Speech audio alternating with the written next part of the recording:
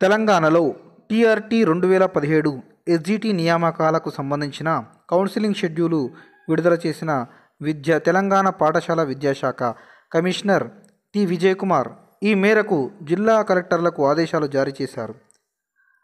SGT ఉద్యోగాల భర్తీకి సంబంధించి నిర్దేశిత తేదీల ప్రకారం కౌన్సిలింగ్ నిర్వహించాలని సూచించారు. అదేవిధంగా సర్టిఫికెట్ల వెరిఫికేషన్ సమయంలో ఏ ఏ సర్టిఫికెట్లు అవసరమవుతాయో ఈ వీడియో ద్వారా నేను వివరించడం జరిగింది. Please follow my channel.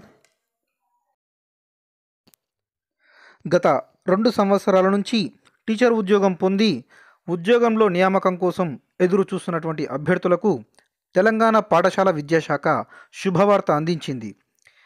TRT counselling schedule విడుదల చేసి వారి నియామకాలను వచ్చే నెల నవంబర్ ఏడులోపు ప్రక్రియ పూర్తి చేయాలని పాఠశాల విద్యాశాఖ కమిషనర్ టి. విజయ్ కుమార్ జిల్లా కలెక్టర్లకు ఆదేశాలు జారీ చేయడం జరిగింది.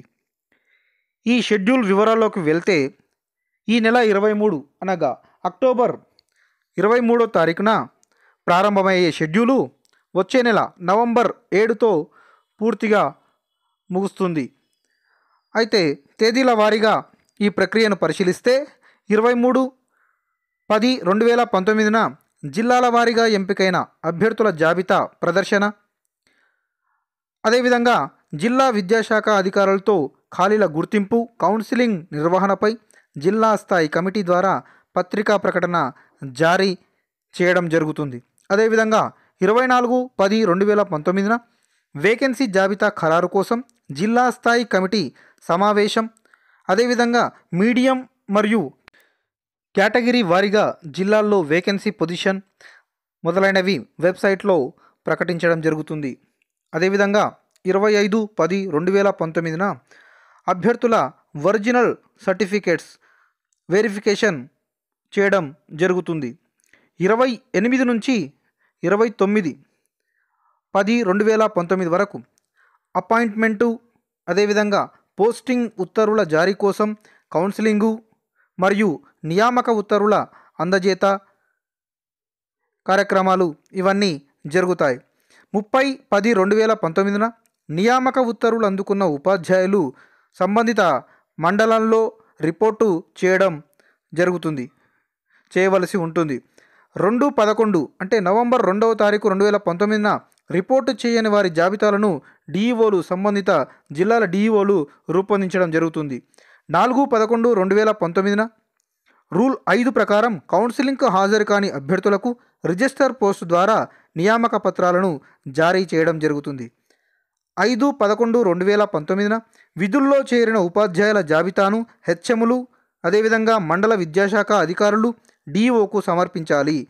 నోటీస్ బోర్డు లేదా డిఈఓ వెబ్సైట్లో విధుల్లో చేరిన టీచర్ల జాబితాను ప్రదర్శించడం జరుగుతుంది. ఇక ఏడు పదకొండు రెండు వేల పంతొమ్మిదిన నాన్ రిపోర్టింగ్ మరియు నాన్ జాయినింగ్ అభ్యర్థుల వివరాల జాబితా టీఎస్పిఎస్సికి సమర్పించడం జరుగుతుంది. జిల్లాల వారీగా పూర్తి స్థాయి జాబితాను పాఠశాల విద్యాశాఖ కమిషనర్కు సమర్పించడం జరుగుతుంది. ఈ నెల ఇరవై ఐదున జరగబోయేటువంటి ధృవపత్రాల పరిశీలనలో మనం ఏ ఏ సర్టిఫికెట్లు చూపించాలంటే ఏ ఏ సర్టిఫికెట్లు మన దగ్గర ఉండాలంటే ఒకటి టీఆర్టీ ఎగ్జామ్కి సంబంధించినటువంటి హాల్ టికెట్ అదేవిధంగా డేట్ ఆఫ్ బర్త్ సర్టిఫికెట్ దీనికి సంబంధించి ఎస్ఎస్సి మెమో చూస్తే సరిపోతుంది.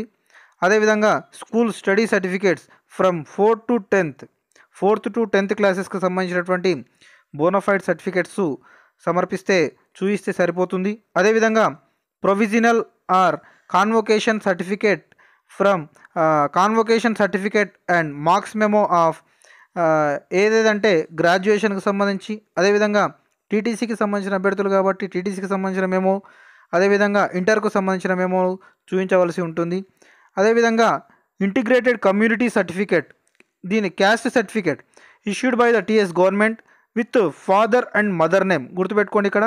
రీసెంట్గా మనం జారీ చేసినటువంటి క్యాస్ట్ కుల ధృవీకరణ పత్రాన్ని సమర్పించవలసి ఉంటుంది. అంతేకాకుండా non creamy layer certificate for BC community candidates అంటే బీసీ అభ్యర్థులకు సంబంధించి నాన్ క్రిమిలేయర్ సర్టిఫికెట్ను సమర్పించాల్సి ఉంటుంది. అంతేకాకుండా ఆ సర్టిఫికెట్లో వాళ్ళ ఫాదర్ నేమ్ వచ్చే విధంగా కొత్తగా ఈ మధ్య జారీ చేసినటువంటి నాన్ క్రిమిలేయర్ సర్టిఫికెట్ను సమర్పించాల్సి ఉంటుంది. తర్వాత ఇంకా డిజబిలిటీ సర్టిఫికేట్ సదరన్ సర్టిఫికేట్ ఎవరైనా పిహెచ్ క్యాండిడేట్స్ ఎవరైతే ఉంటారో వాళ్ళు వాళ్ళ యొక్క డిజబిలిటీకి సంబంధించినటువంటి సర్టిఫికేట్ కూడా సమర్పించవలసి ఉంటుంది చూపించవలసి ఉంటుంది. Proof of age relaxation in case of Telangana state government servant Telangana రాష్ట్ర ప్రభుత్వంలో పనిచేసేటువంటి ఏ ఉద్యోగి అయినా ఏజ్ రిలాక్సేషన్ కింద ఈ జాబ్కి అప్లై చేసి ఉన్నట్లయితే ఆ డిపార్ట్మెంట్కు సంబంధించినటువంటి ఏజ్ రిలాక్సేషన్ సర్టిఫికేట్ని ఆ డిపార్ట్మెంట్ నుంచి సమర్పించవలసి ఉంటుంది. అదేవిధంగా NOC no objection certificate from employer for in service candidates. ఏదైనా ప్రభుత్వ ఉద్యోగంలో పనిచేసేటువంటి ఉద్యోగి అప్లై చేసుకున్నట్టయితే ఆ డిపార్ట్మెంట్ నుంచి ఎన్ఓసి సర్టిఫికేట్ తీసుకురావాల్సి ఉంటుంది. మరియు మరియు రెండు సెట్ల two sets of attestation forms duly signed by gazetted officer అని ఉంది. అదే విధంగా రెండు సెట్ల అటెస్టేషన్ సర్టిఫికెట్లు జిరాక్స్ కాపీలు మీరు తీసుకువెళ్ళాల్సి ఉంటుంది. ఒకవేళ ఎస్టీ క్యాండిడేట్స్ ఏజెన్సీలో అప్లై చేసుకున్నట్లయితే ఆ ఏజెన్సీకి సంబంధించిన సర్టిఫికెట్ కూడా సమర్పించాల్సి ఉంటుంది. అదేవిధంగా ఇంకా ఇలాంటి ఇతర ఏమైనా ఫొటోస్ కానీ అప్పటికప్పుడు తీసుకుపోవాల్సి ఇబ్బంది ఉంటుంది కాబట్టి ముందు జాగ్రత్తగా ఇంకా మరిన్ని వివరాలు ఏమైనా ఉంటే తీసుకువెళ్ళండి friends. Best of luck friends. All the best for your job to you. Okay thank you.